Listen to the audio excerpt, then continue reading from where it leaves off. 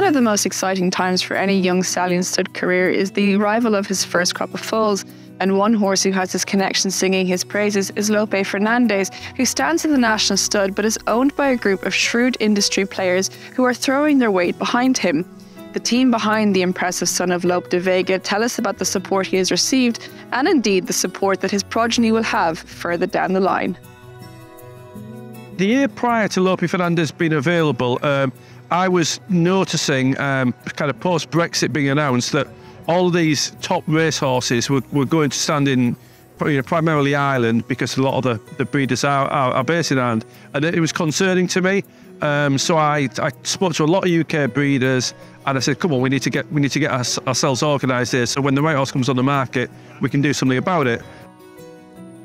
We really weren't planning on buying a new stallion last year. Um, we, we, were having a busy year at Whitsbury and we wanted to give Sergei Prokofiev a, a, another year in the limelight. But when I went and saw Lope Fernandez, I just thought this is a horse we need to get involved with. I got talking with the national stud uh, and Nick Bradley and thought, you know, can we put uh, a group together, you know, bring three studs together with Coolmore to buy Lope Fernandez and stand him here. Once we'd agreed the split of the partnership, uh, we've, we stood in here and it couldn't have gone any better. I think it's a principle of we're stronger together. So to incorporate um, really prominent breeders such as Whitsbury Manor, who have had the most unbelievable year, uh, alongside Nick Bradley as well, um, coming together to really support a stallion that deserves his chance at stud here in the UK. One of his best qualities is the way he walks. He's such an athletic horse. He stands well over 16 hands. Um, he's got that deep, dark colour to him, which breeders love. And, um, and physically, he's just a very imposing horse. As the only son of Lope de Vega standing here in Great Britain, it, it, offers breeders here the opportunity to access some of the best sire lines in the world. De Vega's done amazing things over the last uh, number of years, and now is without a doubt a sire's a sire. So to offer breeders here that opportunity is something we're really we're really looking forward to doing. His first book was he was incredibly well supported. His study covered 135 mares. His fertility is exceptional. So a, lot, a, large majority of them were, were in full uh, and then going into this season, he's been again supported by some of the best breeders around who, who recognise that as a son of Lope de Vega standing here in Great Britain, um, offers them the chance to breed a really good racehorse. So, um, yeah, so we've had four foals born so far. Um, the guys, the foaling team, are waxing lyrical about um, three of them.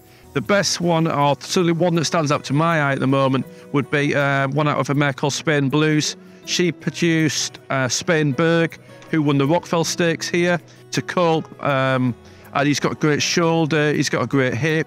I mean, you can't judge the action yet, but I'd be amazed if he didn't have a great action to go with it.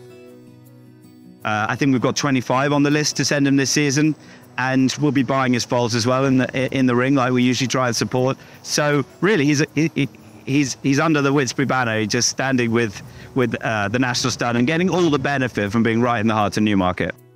This year we'll be sending double figure mares to him. I'm actually at the sale just going to buy some some here for him. Um, and then down the line, I'll be looking when the full sales happen. Obviously, we'll be selling foals at that sale, but I'll be very busy because I'll be trying to buy the best Lope Fernandez filly foals to then be part of the racing organisation. Um, and then when the yearly sales come round, same thing again. I'll be out there trying to buy the best filly foals. This is the beauty of the syndicate. I think we all bring uh, something to the table. Uh, we're supporting him heavily with Whitsbury Mares. Uh, the National Stud are doing a great job marketing the horse and locationally you know, it couldn't be better. We've plonked it right in the middle of the mare population, so we thank the National Stud for that.